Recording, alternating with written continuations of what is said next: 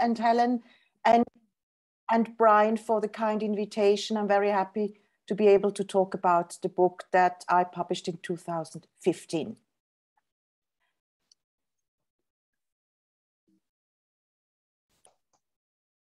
Oh, sorry, yeah. This is the structure of my presentation today. First, I'm going to introduce the method I used by analyzing these seven Slovak women. Then I'm going, as Brian mentioned, to uh, present two of the seven. That the first is Elena Maróthy Šoltésová and the second Chaviva Rejková, born Adele Rosenbergová. Part three deals with a very brief, it's really a very superficial and brief comparison with two Czech women, the op uh, opera soprano Emmy Destinn and my great big friend Eva Mimi Jirankova. In the conclusion, I'm going to recapitulate basically the contents of the book and explain once more why seven historical epochs and why seven Slovak women. As usually, creativity requires inspiration also in, in, my, in my profession. And uh, I never thought about writing or analyzing female stories or female lives. But then I, uh, I got this book by my friend and colleague, Dr. Gabriela Dudeková, Nacestek moderne ženy on the way toward the modern woman, the, the modern woman, excuse me, um, chapters from the history of family relations in Slovakia. And if you can get it, it's, it's an absolute gem of a book because it explains to you in, in, with great detail the difference that Slovak women had to face due to the socio-political environment they lived in. So this was my inspiration and this was my result. Seven Slovak Women was the first volume followed by Seven Czech Women. I applied the same method to both nations, to women of both nations. Now, what is feminist historiography? It's the writing of history of a state or a nation or, and or a nation with a focus on women's lives. What biographies are available? What autobiographies have been published? What does the literature, the academic historical literature say about women in a certain, uh, in a certain epoch, in a certain political environment? What uh, do their socio-economic conditions look like? What about money? Could they earn money? Uh, what kind of jobs had they access to? What career opportunities did they enjoy? And did such thing like a pay gap exist already, for example, in the 19th century or in the early 20th century? Then another aspect of feminist historiography is also the upbringing of girls, especially ethical values what makes a girl a decent girl? What is the behavior girls had to um, follow to be, be considered acceptable to wider society? A very important aspect is furthermore the education, access to primary school, high school, university, or vocational training. Then the political aspect is, of course, women's political rights, the right to vote, when was it achieved and by whom? I think in the US, uh, it was enshrined in the US Constitution, if I'm not mistaken, in 1920, whereas in most of the European states, it was uh, in the Constitution by uh, at the end of the First World War, that's 1918. And I hope I'm not going to shock um, um, the audience. I'm living in a state, I'm a citizen of a state who enshrined the women's vote in 1971. So a lot later than the rest of Europe. But um, to praise the women two generations prior, before my generation, could enjoy this right to vote, they achieved it with their own lobbying. So they convinced basically the Swiss men, look, we uh, do not want any longer to be treated as second class citizen. We want the right to vote. And by 1971, the majority of men, because women were not allowed to participate in that vote, of course, uh, the majority of Swiss men uh, said, yes, we are going to give you the vote. So since then, women are um, in constitutional terms and political rights equal to men in my country. Then women and the law, further aspect, for example, equality in legal procedures, then property rights, what property rights could women enjoy, which one not yet, uh, inheritance laws, and of course the right to abortion when we're talking laws. As I showed you on Gabi Dudeková's cover, feminist historiography is sometimes often referred apologetically as the history of family relations. I think this is because feminism today has is kind of like um, it's not an attractive concept anymore. The word. So to avoid femin the concept feminism that has a bad reputation, uh, many scholars use the term history of family relations. Now, I'm going to explain my method. It's contextual, but this is the second part of the method. My method is a blend. It's an interdisciplinary blend between feminist historiography and contextual biography. I quote, any attempt to incorporate such themes, technology, demography, prosperity, democratization, ecology, political violence, in a history of 20th century Europe would not bypass the role of key individuals who helped to shape the epoch. They are neither their prime cause nor their inevitable consequence.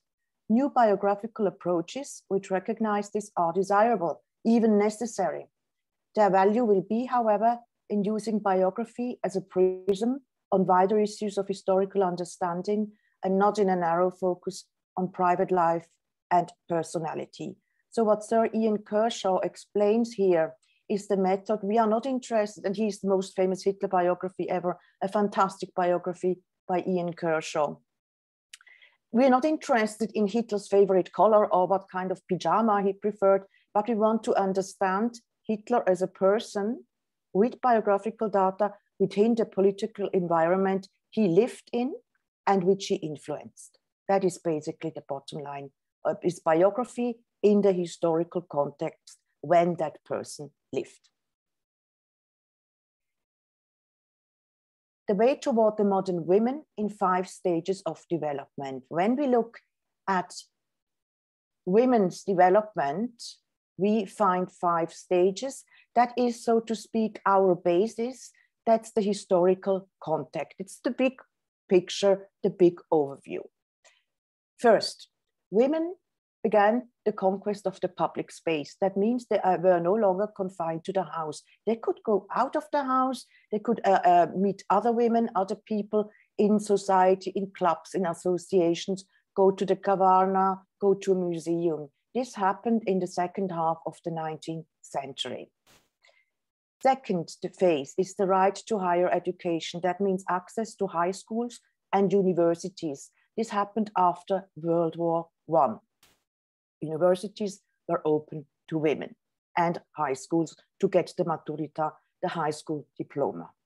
The third phase is the right to political participation. That means the right to vote and run for office, engage in political activities such as forming, a, forming an own political party. This also happened after World War I in the early 20th, early 20th century, in the interwar period, I would say. The fourth phase is the access and the right to work and earn a salary. That means financial independence. Women could now, they were no longer forced uh, to get married, to be dependent on a husband who brought in uh, the means of biological survival, the food, the household, early 20th century. Um, the right to work, this is perhaps, um, I should add here, communist constitution had enshrined the right to work. That meant it was the state's duty to employ you and employ every citizen, also women. So everybody was 100% employed and, over, and of course got, was paid for it. Although 50% of the employment was not productive in economic terms. And last but not least, uh, phase five, the right to prevent pregnancy with a contraceptive pill and the right to legal abortion. That's the second half of the 20th century. I can vividly uh, remember when I was, I think I was a teenager, 11, 12, 13 years old, when uh, the German, it was a kind of uh, news magazine, a weekly, Der Stern, published a cover with very famous actresses, singers, politicians, all women. And on the cover was uh, the slogan, Wir haben abgetrieben, we had had abortions. And this was back then, that was illegal. And that caused such a, a societal um, discussion that um, shortly, I think two or three years later, West Germany, of course, that was in West Germany, uh, enshrined the right to legal abortion in paragraph 218 into the constitution. In the states of the Soviet bloc, of course, especially in the Soviet Union, um, abortion was considered, women considered abortion as a kind of like a contraception because nobody wanted uh, to expose one's body to the, the, the, hormonal bomb that the Soviet pill had been. So the rather, women rather got pregnant and then had a state paid abortion if the family planning was already done. When they were done, we had had their two, two children. Now, this is a feminist par excellence, uh, a real liberator of women. Dr. Karl Djerassi is the father of the contraceptive pill. And what does that mean, liberator of women? In the context of the planning of my biography, the pill liberated women. They could now plan their careers. They did not fall, um, uh, fall unwantedly pregnant any longer. And they could plan not only family, but also their career and their lives. So they were a lot more safer with regard to their own biography and their life planning. Now, why seven Slovak women? I've mentioned it before already because of seven political regimes. The history of Czechoslovakia, the Czech part as much as the Slovak part, can be structured as follows. First, we have the Austro-Hungarian monarchy. Then the only democracy in Central Europe, the Masaryk's First Republic, that was being ended by Nazi aggression. In Slovakia, we had, of course, the clerical fascist Tiso regime. There's been lately a criticism of the concept clerical fascist, but I still think, although the communists invented it, I still think this is the most precise description of the Tiso re regime because it explains the blend, the ideological blend between Catholic catechism, the rule of the clergy, with, with a blended with fascist elements of the German Nazi regime. We have three brief years of a semi-democracy, post-war Czechoslovakia, followed by the as the communists used to call it, the Vítězný únor, uh, 25th uh, February 48, the victorious February, when the Communist Party pushed itself to power. Communism lasted until the Velvet Revolution of 1989, and what then followed was the federation. The, the Slovaks finally got the um, amount of autonomy they were, had been looking for. And last but not, the last phase is, of course, sovereign Slovakia, the Velvet Divorce that uh, and Klaus agreed upon in the summer of 1992. And since 1st of January, uh, Slovakia is an independent state until today. And um, since 1980, 1998, I think Slovak diplomacy that very skillfully described its recent history is speaking of a success story. I think they're right. Slovakia, modern Slovakia today is a success story in political and also economic terms, accession to NATO, EU membership. We're coming to part two. This is Elena Maróthy Šoltésová, a chairwoman and activist for the Slovak Women's Association Živena. You see to the left uh, a young Elena with this typical, absolutely horrible, um, horrible costumes women had to wear with these corsets. And one just looking at it, uh, one almost cannot breathe. This, they had to wear this uh, every day. So in fashion, in terms of fashion, we could uh, add that Coco Chanel was uh, a feminist in fashion because she liberated women from this corset and designed fashion without the corset. She liberated the female body. To the right, we see Elena in her garden shortly before she died, uh, in much more comfortable clothes, the white coat, and um, she looks pensive. That's all I can say about it. Živena was founded in 1869 in Turčiansky Svätý Martin. Since 53, this is uh, Martin is referred to as Martin only because, of course, the communists got rid of the Turčiansky Svätý, the, the, the, the religious name. Unmute. And especially uh, the education of girls in Upper Hungary was problematic. I don't know what I'm doing now. I don't Because of the assimilation. First, the first high school for girls opened in Budapest in 1896. So what does this mean for Slovak girls? There was not one um, high school or one university on the Slovak settled territory in Upper Hungary. So if I, as a young girl, wanted to study medicine, I had to study it in Budapest, or I could go to Prague and study in Czech, because in 1882, this, uh, Charles University opened up a Czech-speaking section. So most of young Slovak intellectuals went to Prague to study in Czech. The Slovak national movement established it, had established itself in 1861 with the memorandum. And it was an integrating movement against the Hungarian assimilation. They wanted the language rights. They did not speak yet of a succession out of the of Upper Hungary to leave Hungary to become an independent sovereign state. That was not the plan. They just wanted to save their language rights, which they thought that is, is natural law. It's a given by natural law that we are allowed to speak our language, that we don't have to speak and communicate in Hungarian. And to everybody who ever tried to learn Hungarian, it's really understandable. Hungarian is incredibly complicated to study. I gave up.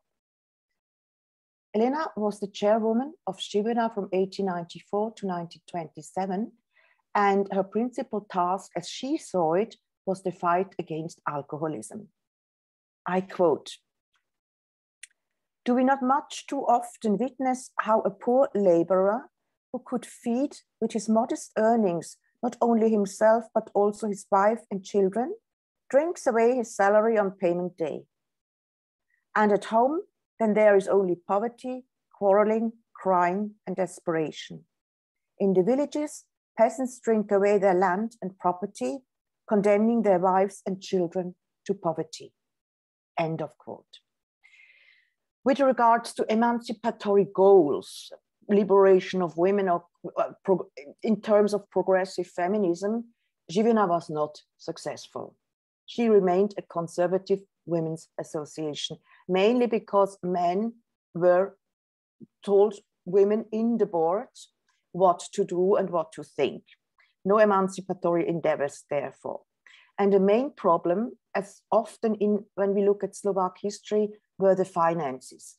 They could scrape by. They uh, let's try again next week, the next issue, or next month. Um, fundraising. They, they just try to to keep it going, to keep the, keep the journal, Živena, and the association going and Elena about Živena, the association, and the review, the journal. I quote, she did not want to die, but was not allowed to live. End of quote. So you see, see kind of like a, an in between state, very, very stressful for those members who had to do the fundraising. My sec the second woman I'm going to present today is Chaviva Rejková, born Adele Rosenbergová. And you see that here on the, on the file, on the slide, she got only 30 years old. So to the left, all pictures are downloaded from Wikipedia. Young Adele in her native Slovakia. And to the right, you see wearing a uniform of the British Royal Air Force. So that picture was taken shortly because she landed in the Povstalecké territory in the SNP territory in Slovakia. She was born today, it's called Nadabula in central Slovakia. That's uh, probably one or 90 minutes drive from Banská Bystrica. She was an ardent Zionist since she was teenager and decides in 39 when the Tiso regime takes over to emigrate to Palestine. She did that, I think, with, with friends from her Zionist youth group. Her mother and her brothers stayed behind in Slovakia. She first lives in a kibbutz. They try to, um, to produce some cosmetics with salt from the Dead Sea. And then she learns from a friend who is came back from Tito's Yugoslavia that there is something in the making, an uprising is in the making in Slovakia. And she trains with the British Army. Already there, she has made the decision I'm going back, I'm going to help. And um, her training involves parachutism and um, operating, um, operating a radio operator. And she's uh, she's trained by uh, and then later operates for Churchill's special operations executive. A couple of weeks before the launching of the SNP on 29th August 44 she's now she now calls herself Ada Robinson and you see this is a very clever thing the SOE did in terms of psychology we never forget our initials JB in order not to slip up or not to betray our false identity, they kept their initials, Adele Rosenberger, and just found other names, names, cover names, made up names, Ada Robinson, uh, but the initials remain the same. And she lands in Tri Duby airport close to Banská Bystrica from the Zionist partisan group and broadcasts for the uprising. So the motivation for her to go back to Slovakia was to get as many Jews, Slovak Jews out or save lives. And of course, also to resist the, because the Nazi, Nazis had brought in from Hungary more troops to, to end the uprising. She is arrested with her comrades, probably betrayed to the Nazi authorities, and the Gestapo on 31st October. She's, for two weeks, she's tortured every day by the Gestapo and then shot in Kremnička and mass buried there. They found after the war huge mass graves, I think between 200 and 300 women, men, and children.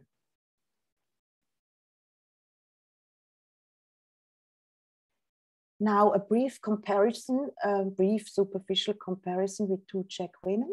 The first one is the, as I mentioned, opera soprano Emmy Destinn. To the left, you see young Emmy with this lovely, lovely brown hair. And, uh, oh, sorry. And here, uh, she's older at the peak of her career. She sang for kings and queens. She was very successful. She made a lot of money. Um, that was shortly before, let's say, 1890s and the first decade of the 20th century. And she was, when you listen to her, she reminds me immediately of the, the voice of Maria Callas. She made bad decisions, Emmy, although she was an ardent Czech patriot and supported Masaryk's mafia uh, by smuggling in her costumes, she sued them in her costumes, uh, information to US Czechs living in the, in the US to organize uh, the lobbying for independent Czechoslovakia. And she supported the independence movement with everything she could do. Yet, when the First Republic was founded, she was out of a job and she could not get a job. She could have emigrated to live to New York. She was rich enough. She bought a castle in, in Stráž, it's called. I think it's in southern Bohemia. Married a completely wrong man who just was busy spending all her money and she ended up poor, so poor that to make ends meet, to feed herself, the star who had once sung at the Metropolitan Opera in New York had to sing in the breaks in a Prague cinema. That's how she ended. Very painful to look at her fate. I mentioned in my book, Seven Czech Women, this is just a hypothesis.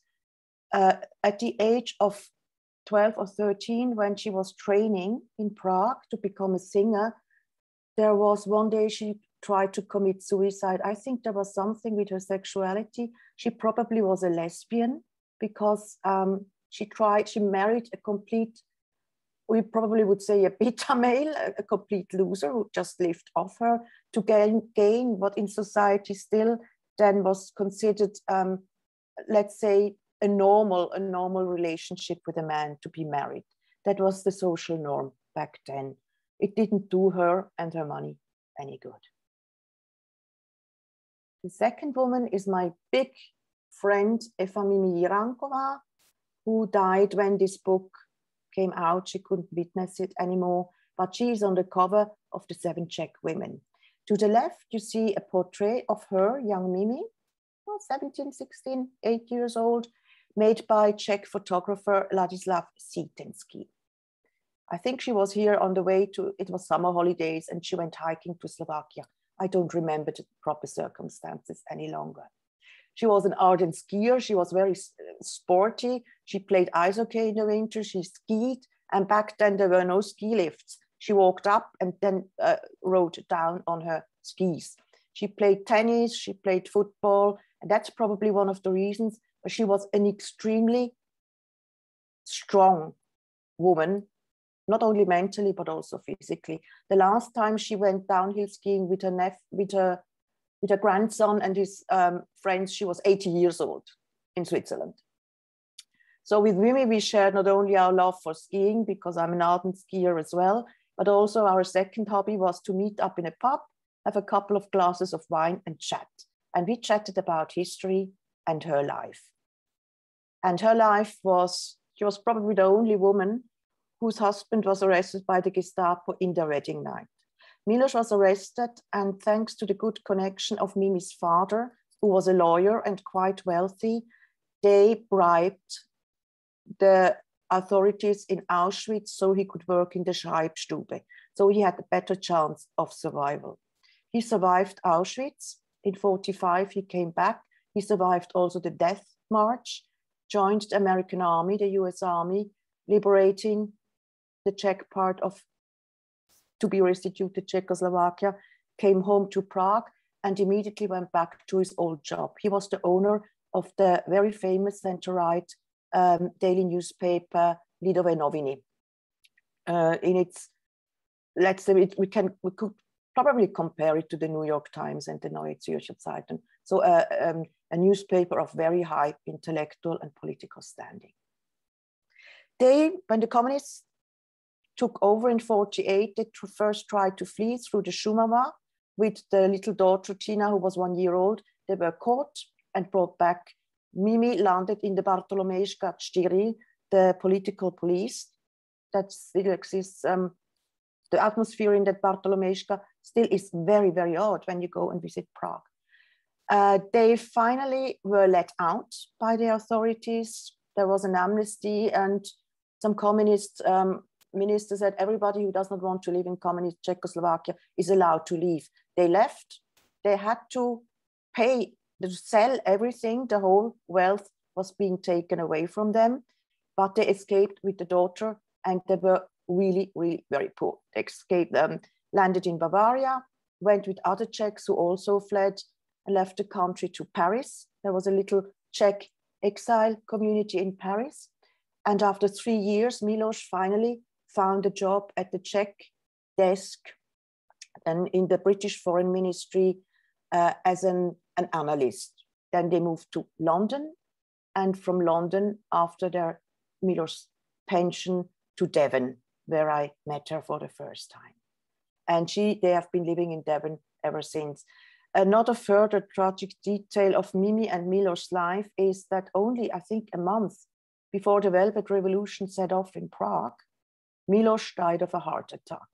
But he had, um, so Mimi told me, a, a, happy death because he died of laughter, basically. A, a, friend came and told him some, some, some joke, and Milos had to laugh so hard that he got a heart attack and died.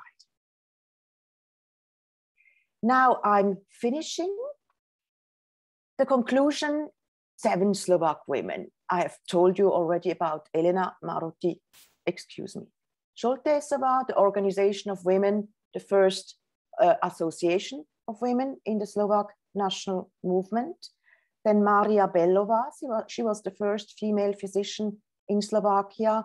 But because she had studied in Budapest and Berlin, uh, she also had a hard time to find a job and employment in Slovakia in the First Republic because um, Czechoslovak patriots said, Oh, you studied under the old regime in Budapest. No, we are not going to hire you. Whereas a, a friend of her, a male, who had studied exactly at the same university in Budapest, medicine, was already primar, that means chief physician in a hospital, I think it was in Košice. So she had a hard time finding employment and uh, spe specialized later in the treatment of tuberculosis. Chaviva Rejková, I mentioned her, a Jewish Slovak patriot. Anna Štvrtecká, until today, and I really tried to find out as much as I could. She was a historian, a historian of the Communist Party and a party member, and fell victim to Husak's normalization. She lost her employment uh, because she criticized the Soviet invasion and the politics of normalization.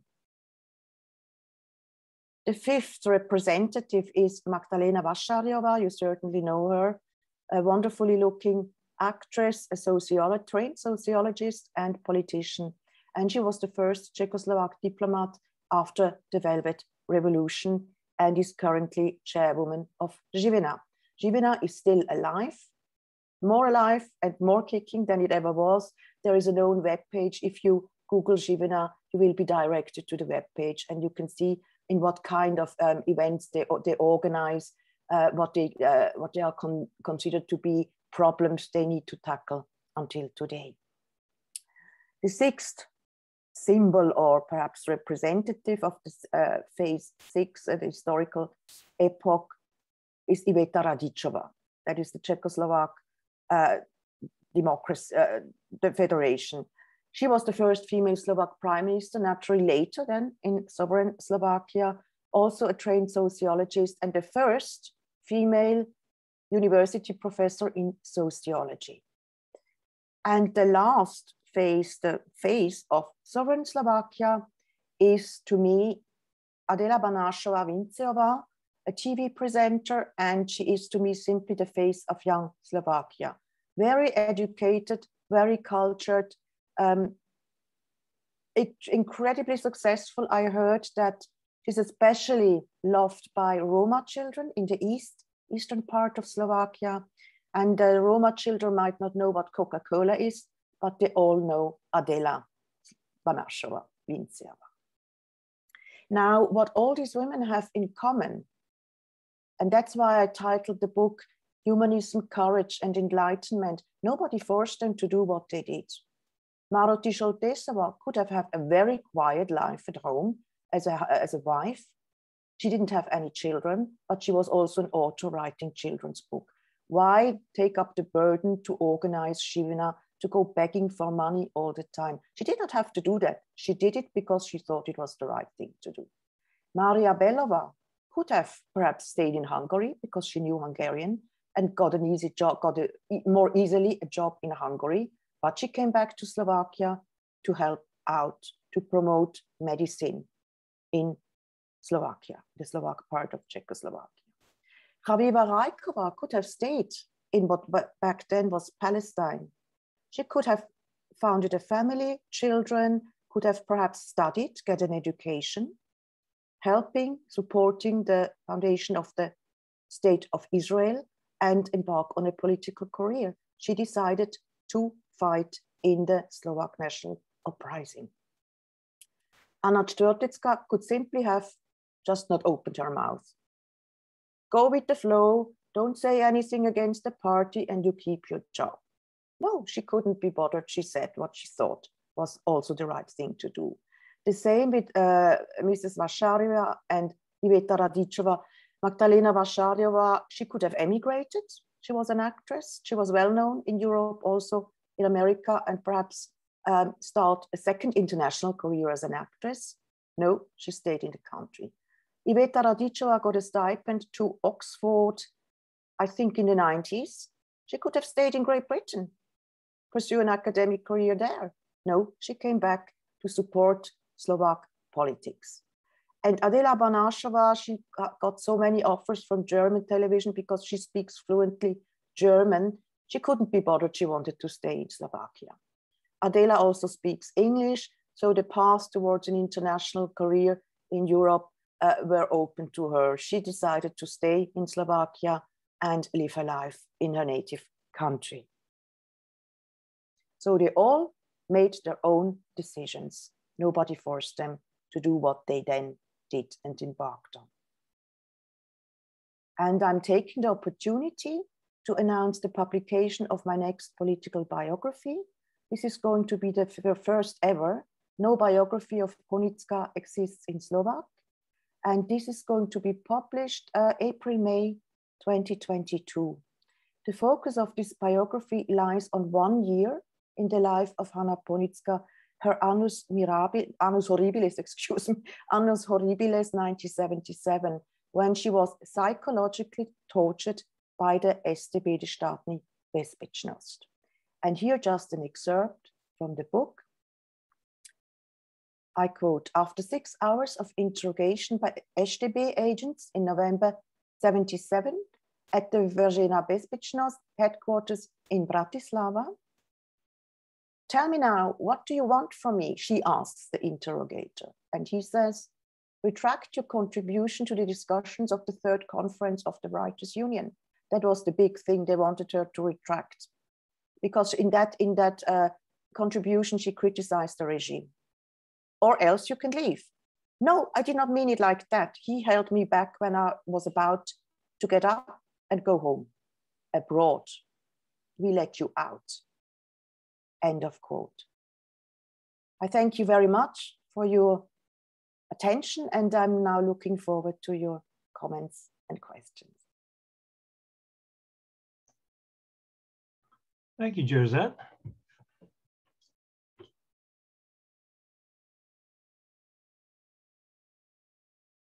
Okay, I will check the chat to see if there's any questions uh, in there.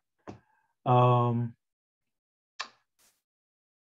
all right. Uh, I have a, okay, I will call on, uh, we do have, uh, uh, I'll open up the floor to, uh, well, the first question will go to, to Helen Fedor. Hel Helen, if you could unmute yourself.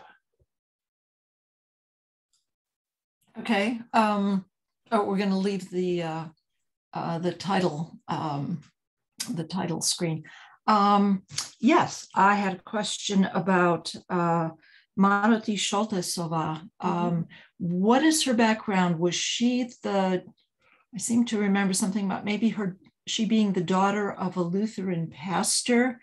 Um, and you said that Živena was only allowed to hold conservative views. Um, what were her personal beliefs, her personal politics? Uh, that's a very good question. I think she was in, in certain respects, uh, you, are right, she, her father was a Protestant or, or Lutheran pastor. Uh, she was not, let's say, courageous enough to stand up against the, the men who were also chairmen of Živena. So she just, um, she was also a poet, quite introverted, I remember. And she thought what she can achieve on her own, circum quasi circumventing um, what the man wanted Živena to be. Uh, a little women's news uh, review and a little women's club, especially Hurban Vajanský, who was very conservative. He was for many years uh, the chair, one of the chairmen of Živena. And he, of course, dictated. Hurban Vajanský was so full of himself that he, um, he boycotted many well-written texts by women because he thought, oh, these little women, they are not, only men can be great writers, only men can be great poets. So he basically boycotted his own organization, if you want to put it like that. And she, I think, and I'm trying to put myself into the mindset of, of her. Um, who you want to go every day of your life and you can't win. It's a battle you cannot yet win. Was had Shivana, had she lived longer or born later, she probably would have, uh, especially when Masaryk's uh, democracy was founded, which gave uh, put women on the same equal uh, legal level like like men, then she would have had the law behind her, and she could have argued against the men. Look, no, this is a women's association. You are men. You certainly are entitled to your own opinion, but also consider our opinion. We are women. We know what you're talking about. I think that's kind of the the mindset we have to imagine. And in times, also, I think what she might have considered we are so few Slovaks. We have to already problems fighting, and the Slovak national movement was divided. They were not united yet. They were so divided into Catholics, into Protestants, into conservatives. Then you have the Hlasists, Masaryk's adherents, uh, who had all studied in Prague, and that national movement was already divided enough. And I couldn't, I could imagine that uh, Elena said, uh, "Okay, we are a small nation. We are bundling our forces. If I now come and put the female perspective, this is another division. This is going to divide us even more. So that would I would think that she considered that and then just went along. She might also have thought it is not yet the time. The time is not yet ripe. Because as I mentioned before, the Slovak national movement after 61, they did not want sovereignty. They could not even think in terms of sovereignty. The only chance of becoming, achieving a kind of sovereignty was with the foundation of Czechoslovakia. Before that, no chance whatsoever to go against powerful Hungary, the powerful um, liberal party in Budapest. No chance. No. I hope that answers your question. Mm -hmm. Thank you. Okay, the next question it will will come from uh, Susan Nicola. Susan. Oh. Hi, Josette. It's uh, hi, uh, Susan. Great to see you. Hi. I hope you're going to be at ACES. Are you coming in for ACES? No, I oh. can't. No, no, it's too dangerous. Although I'm vaccinated, I can't. I, I really no. oh, well, that's too bad because I you've done a terrific job, and I want to compliment you on the on the presentation and on the on the book. Um, and I'm looking forward to reading it. One of the things as a historian, you know, one of the things that we often often overlook, and that's why I teach a women's history class, because nobody asks what were the women doing. The assumption mm-hmm. is that we were in the house taking care of the kids and cooking. Um, and so I think it's really important. Um, do you think that there's been a significant kind of um, equality of women with uh, Radičová with Čaputová now and everything that uh, Slovakia is more advanced in terms of accepting women in leadership role than let's say the United States, which still, you know, barely has scratched the uh, mm-hmm. surface of leadership finally with a female vice president. But so is Slovakia more um, kind of gender equality type it's a, it's it's a very fascinating question because you could say yes for a certain aspect, and um, whether we like it or not, we have to thank the communists for that because the communists put the legal basis. Everybody's equal. Everybody's equally unfree under communism, but they were equal. So um, men made as much money, or as let's put the salary away, as women. So that gave women already quite a good a kind of like self-confidence. We are here, we're making the same amount of money. Um, don't mess us about um, these times are over. Certainly, we have to thank the communists for that. And I think, especially when you mentioned Vášáryová and Radičová, yes, absolutely, because they both grew up under communism. Radičová, um, she was 13 in 68. I think uh, was a little bit older, but they were both teenagers. So they have a very good memory of these communist times, and that gave them the power uh, to embark on shaping the politics of independent Slovakia because they knew what was at stake. When Mečiar was still in power, both they knew, hey, this is going backwards. This is not good. Mm-hmm. And then they formed this coalition with Dzurinda, who then won the parliamentary election. With the US, I'm, I think there are so many factors different in US politics. I find it hard to make a judgment on that, honestly, because I don't know. You need a lot of money to run, right, for office. That's one factor. You don't need that much money in Slovakia. Then you need to, um, it's huge. The US is a continent. Um, it's you basically cannot compare it to such a small 5 million people in Slovakia. Although you have the technology, um, I would not, I, you can of course compare everything, but uh, makes this comparison sense? We have to ask ourselves then, does it make sense to compare these completely different socioeconomic and political conditions and the oldest demo democracy, the US, to a democracy, a young European Union state, and democracy Slovakia. I don't know. My American female friends, I never got the impression that, on the contrary, I thought American feminists did a lot, especially in the 60s and 70s, to educate their sons with respect for women. In Europe, that is not the case, especially not in Switzerland. In Switzerland, mothers still think, oh, this my son, uh, my gold, my gold boy, and nobody's ever been good enough for him and stuff like that. So these old patterns, you know, of female thinking.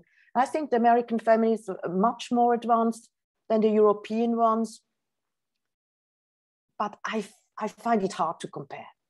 I can just I can just point out the differences but then comparing these, I don't know much enough. I don't know enough about uh, American feminism. Yeah, no, and I, I didn't mean to compare directly, but rather this notion of um, the role of women in society. And you're right, it was the communist experience that mm-hmm. really, really was a key factor in um, developing that. Um, I have to leave because I have another Zoom meeting uh, through the university. But thank you so much. This was great. I can't wait to read your book. And if not this year at ACs, maybe next year in ACs. Let's hope. Thank you very much for coming, Susan. Okay. Thank you. Great to see you. Great to see you.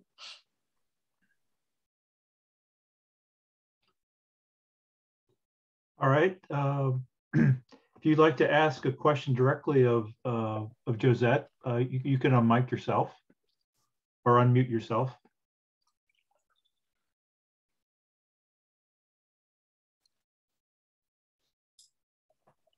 All right, let me jump in with a second question. Um, for both of these women, Josette, what role did their religion play in, um, whether positive or negative, um, in their work or their aspirations, um, or even their accomplishments? For Chaviva, certainly she was a modern Jew. She was an adherent of Zionism. So um, that that was a big part, a large part of her being a female, a Zionist, and um, believing that one day there would be a state of Israel in what then back then was called Palestine. That motivated her to emigrate. Had she been perhaps an adherent of Judaism, and I don't really know, I'm not an expert in religion, not at all, she might have um, stayed and ended up like her brother, brothers and her mother in a concentration camp and died there. But I think this uh, Zionism was to Jews a modernizing, I wouldn't say ideology, it was a modernizing body of thought. And that motivated her. I, I strongly believe that that was the principal source of her motivation. Also, then later to come back. No, she could have stayed in Palestine. Nobody forced her. She came back and fought. And to uh, about Elena,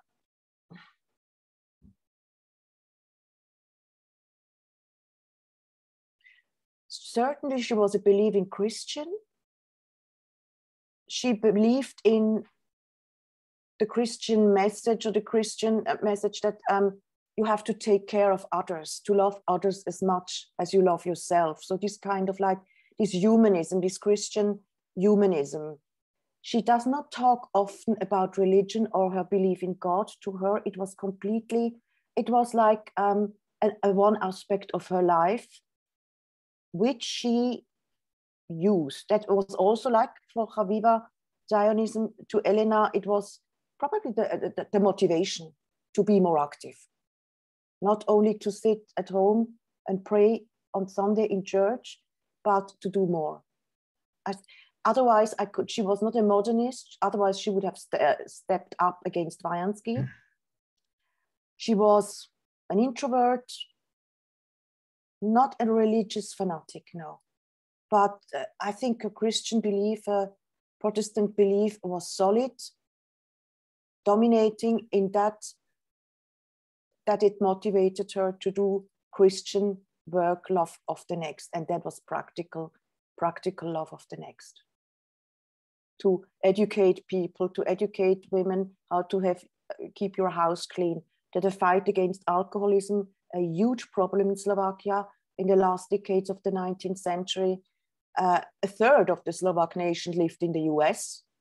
Also, Dubček's parents, they emigrated, and he was born in the US. They then later came back. But um, apart from Upper Hungary, in the Hungarian kingdom, most ma major part of the Slovaks who identified themselves as Slovaks were living in the US, in the East Coast, where they found work um, in the forests and uh, like the Czechs also, coal mining, these manual works.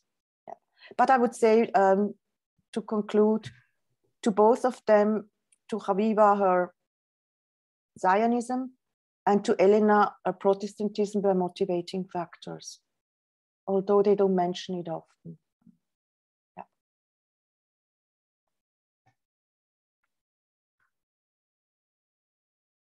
So we have a question from Karen. Her question is, how would you describe the current position of women in academia in Slovakia? I think um, in some in some disciplines there are more women than men especially for example the the example i know best is the Historický ústav Slovenskej akadémie vied, the Institute of History of the Slovak Academy of Sciences. I would have to count, but there are, when you look at uh, um, the employment uh, stuff, there are 50-50, I would say, women and men. Young women, elderly women, all trained historians with a PhD from the university, and then they get into the academy, which is um, highly professional on a operating on a very high scientific level. I don't know about uh, medicine. I think there's also probably at par men and women. And yeah, that's the only thing I in in academic research. Slovakia, I, I can't say give any any any figures, but I got the impression at the moment it's 50 to 50. It depends, of course, um, what kind of physics or, or astronomy, what, what kind of discipline you're looking at. Sorry that I can't be more precise on that.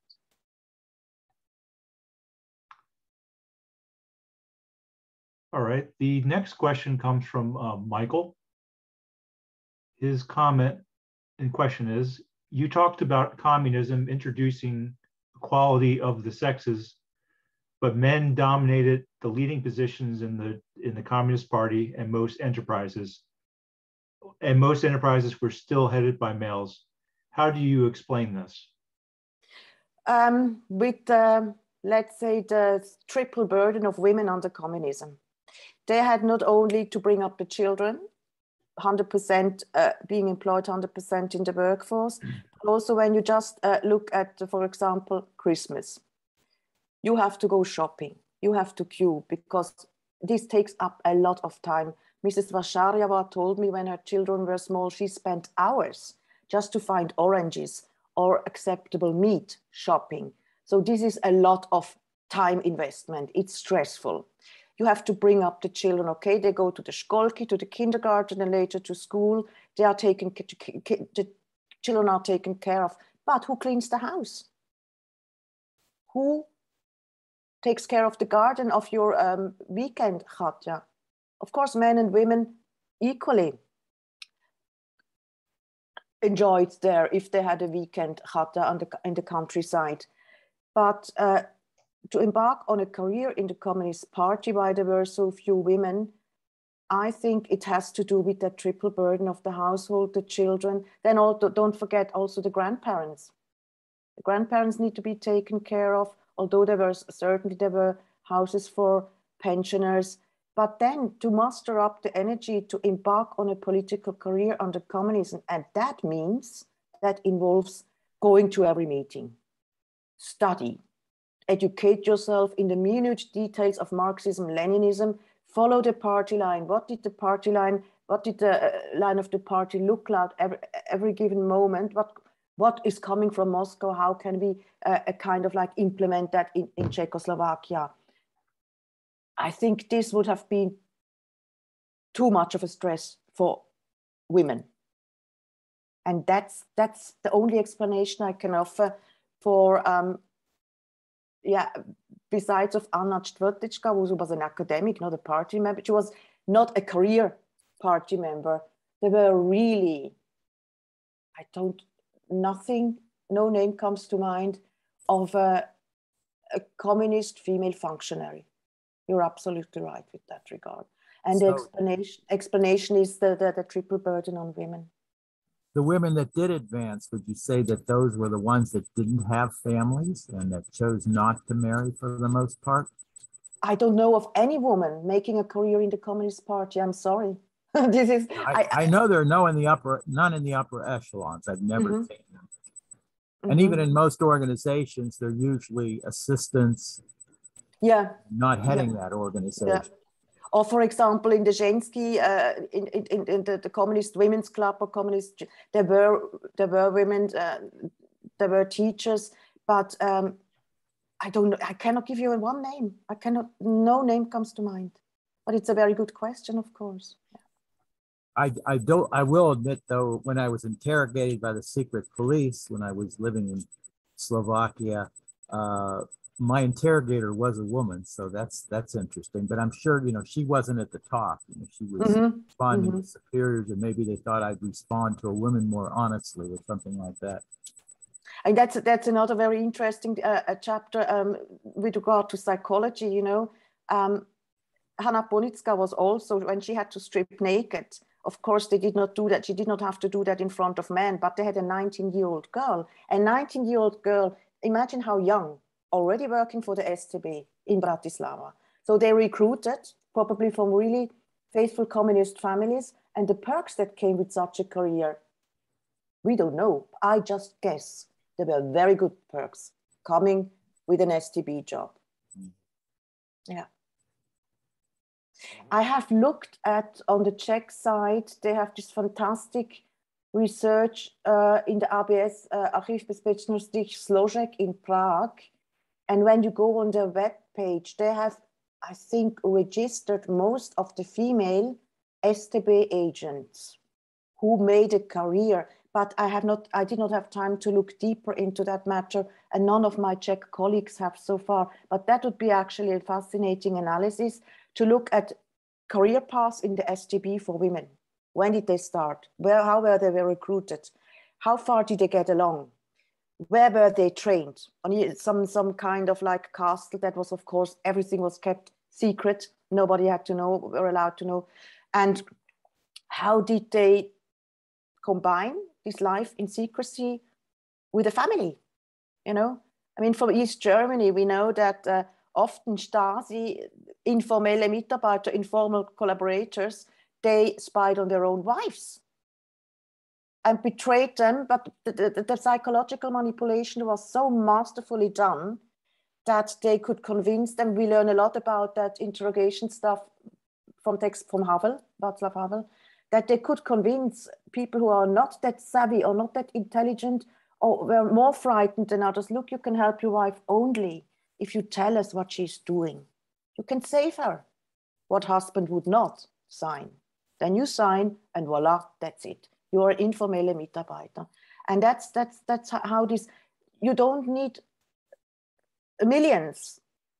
Uh, my colleague, esteemed colleague Juraj Marušiak, I think he estimates the Slovak STB, Slovak STB, there were no more than 11 to 12,000 people employed to watch over 5 million.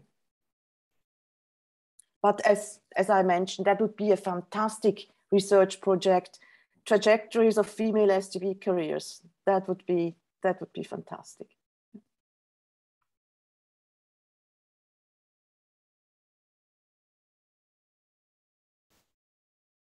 All right, I, I'll ask the ne next question. So Josette, uh, you one of the women you profiled was involved in the uh, SNP.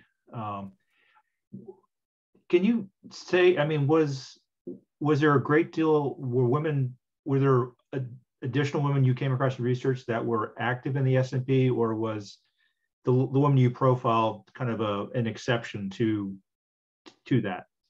She was an exception because um, she came back. She emigrated to Palestine, she came back and she was on the fighting front. But there is a, um, in communist times, there is a publication about women in the SNP. So what women did during the SNP, those who lived in the, in the territory where the uprising took place, they helped.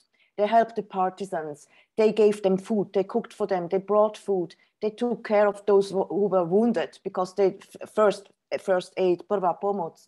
They uh, were working as couriers, bringing bringing information. Uh, many women were involved, and and they suffered the Germans had no mercy at all. They had no mercy. I know of one case of an elderly lady, a widow, who I think she gave shelter to two young partisans, young Slovak boys, uh, and hid them in the cellar. Somebody betrayed her, or the Gestapo found out. She was burnt alive in her house.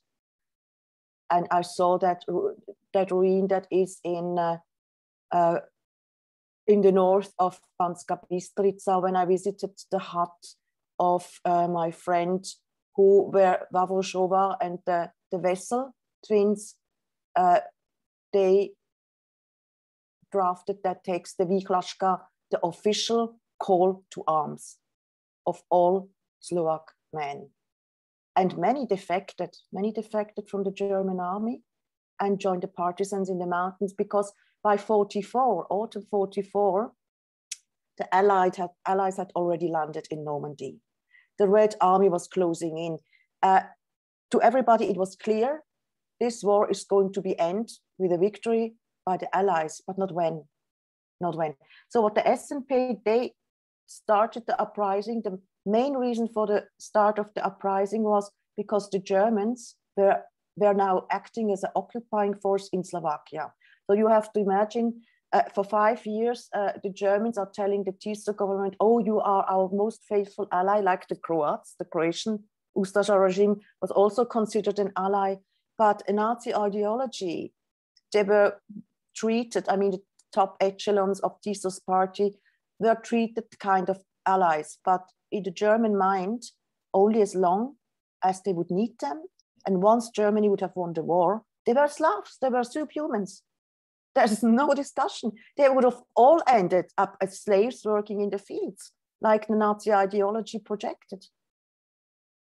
So women were heavily engaged, yes, in the but with with with, uh, with uh, typical female, uh, not fighting in the front, uh, not in military terms, but in support in a supportive role.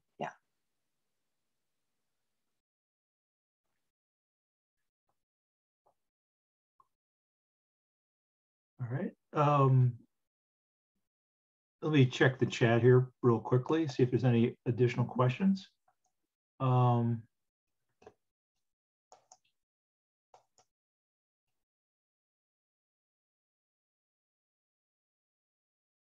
all right. Um, if anyone has a question, please unmute yourself. You can you can ask Josette directly.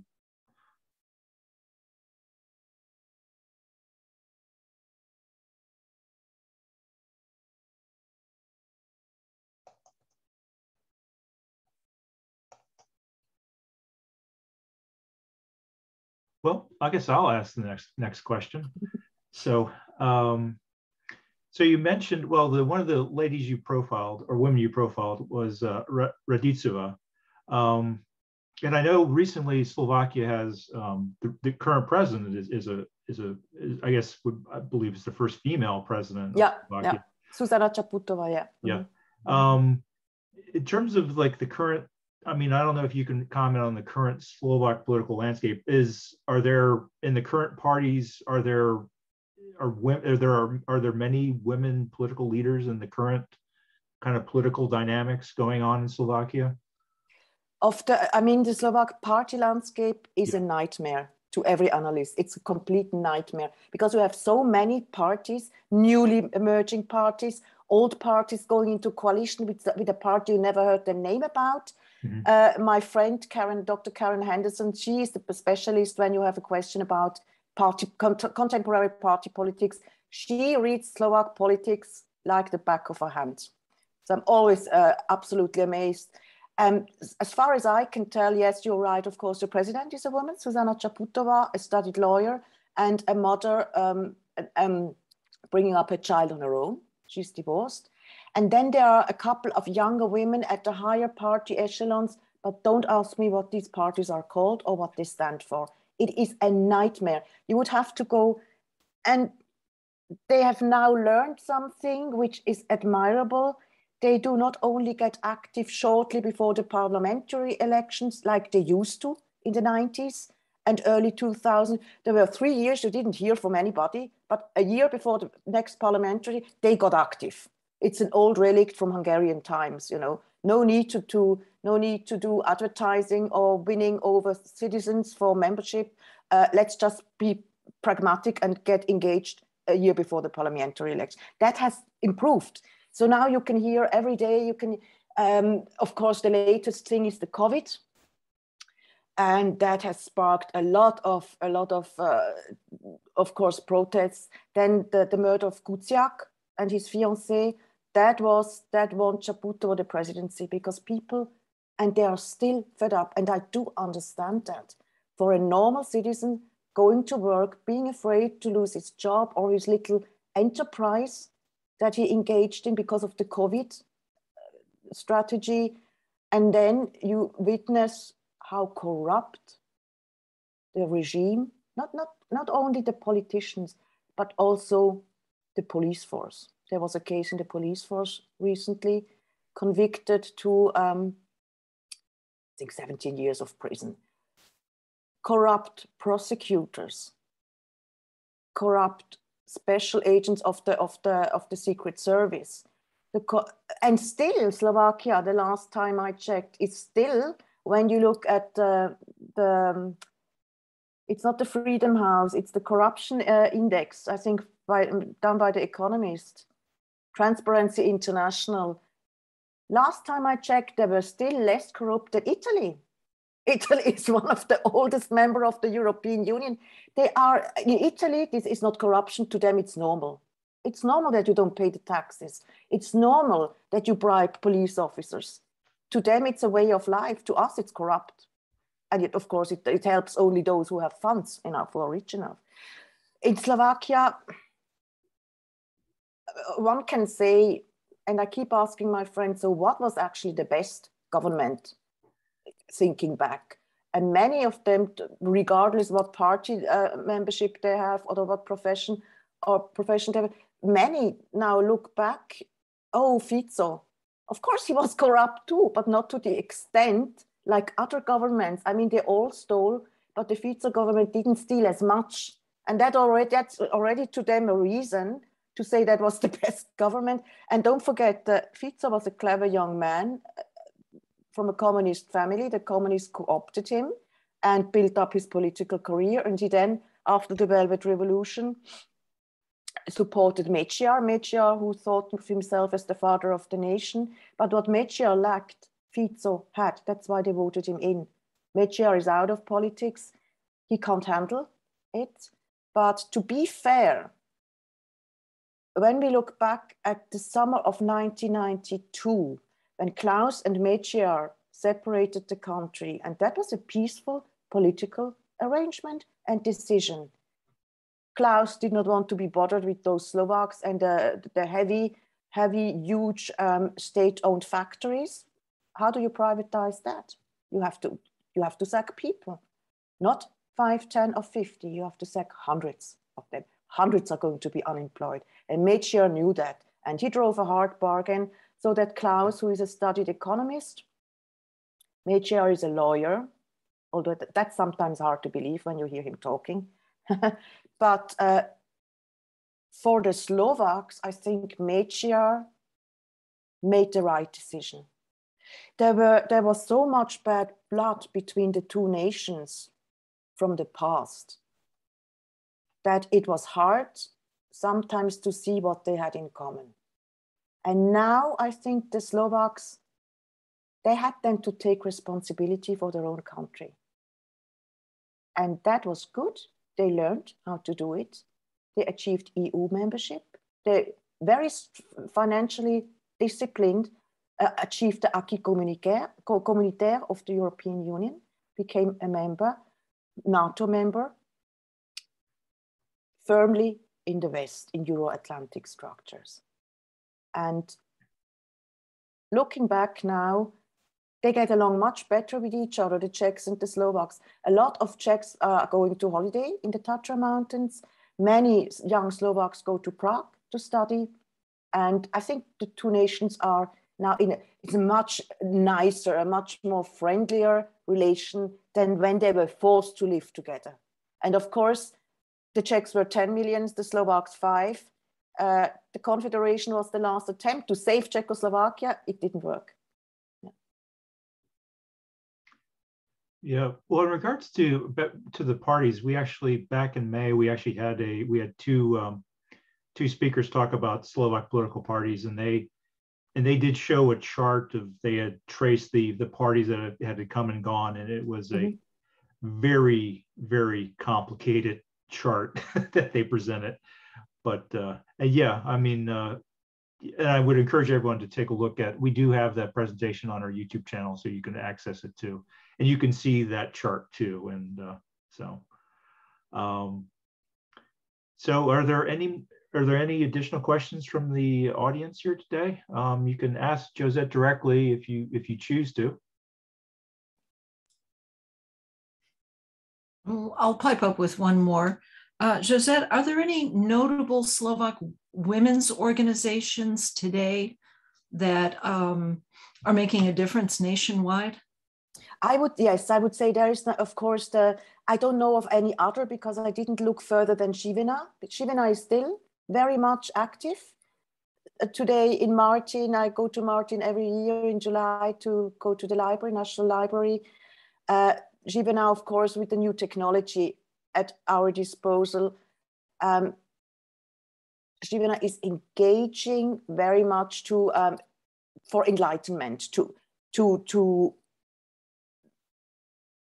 It's probably not not really a feminist feminist endeavor any longer, but they are the representative of the Slovak women. Although, of course, a historical association but I think it's admirable that the association is still existing today. And when I interviewed Mrs. Vášáryová, um, she told me, yeah, it's about the political education. And she knows what she's talking about uh, because she, when she travels the countryside, um, people in Bratislava are well educated. They have access in the countryside. They have a different kind of life. They have a different lifestyle. It's not so hectic like in Bratislava or in Košice people that attend to their fruit garden. Uh, in the Catholic regions or in Catholic um, villages, they're conservative. So when Charter 77 finally was founded, uh, nobody in Slovakia knew what that was. And even after the Velvet Revolution, many Slovaks were completely uninformed, although that was available now in the new newspapers after the revolution. They thought Charter 77, oh, what was that good for? You know, very narrow-minded. And I think that's one of the main main goals uh, Živena is still tackling today. But I would have to I would have to do more research on that, on other women's associations.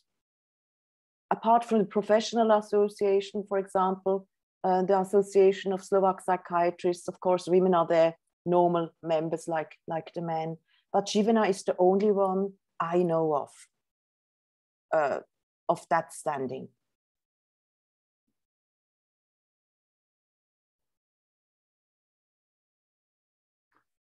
All right, we have uh, time for one last question. So one last chance here if you want to ask Josette directly.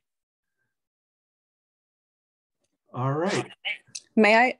Yes, please. Yes, please. Hello, this is this is Zuzana Steen, and um, I'm currently the vice president of the American Sokol Washington D.C. and I've been here since late 1990s, uh, living on the East Coast. But I go home every summer. I'm one quarter Slovak and three quarters Czech, mm-hmm. and every time I go to the Czech Republic, I visit Slovakia as well. My relatives there. It's interesting your observations. I, I really appreciate this session um, when he talked about bribing, um, my cousin in Slovakia who delivered a baby a few, you know, just three, four years ago, she felt like she had to bribe the doctors mm-hmm. to give her epidural. And I was like, why did you give them such a fat envelope with money? And she's like, they wouldn't give me the epidural mm-hmm. otherwise, mm-hmm. or they wouldn't take care of me. And I just thought it was so backwards. I never heard of it even in Czech Republic. But one thing I just wanted to say here in the US, or at least, you know, on the East Coast, through our Sokol organization and, and some other you know events that we have for the Czech and Slovak society and you know friends and relatives there it's like as if we were not a separate country. We still have kind of we still operate with czechoslovakia on our mind and you know and even our kids here. You know it's it's like as if we were you know one nation still.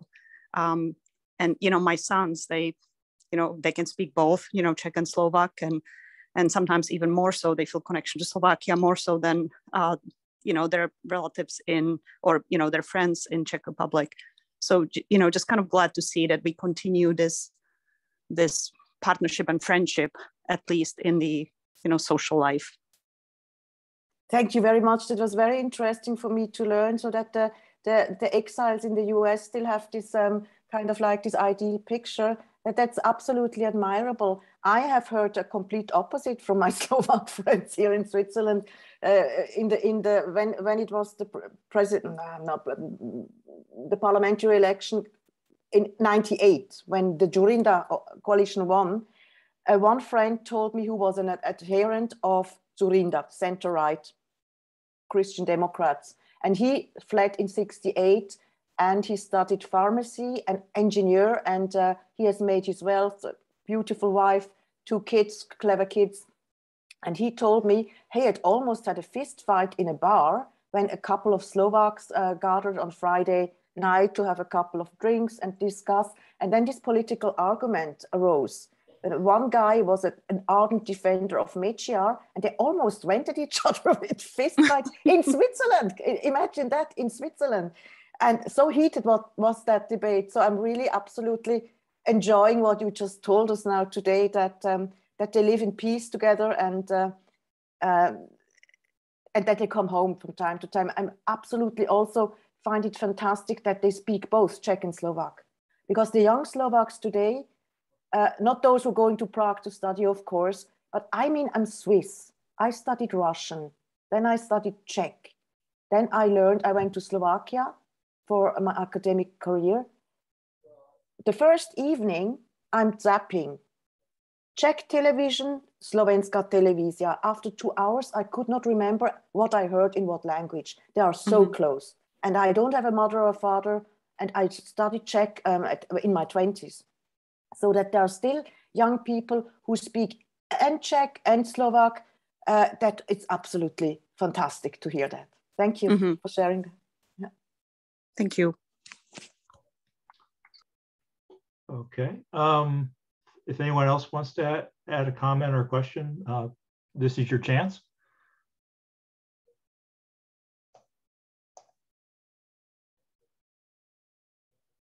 Okay. Um, so,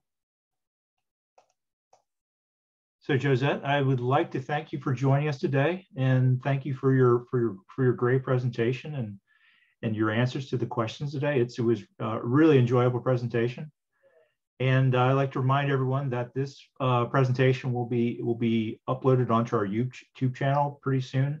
So keep an eye out for that. And I will, uh, I will mail out the link to all the, all the folks that registered for today's event. So, so I would like to wish everyone a, a, a, a lovely evening or a lovely afternoon, depending on where you are. And so hopefully you'll join us again at our next talk. So, um, so everyone have a great day.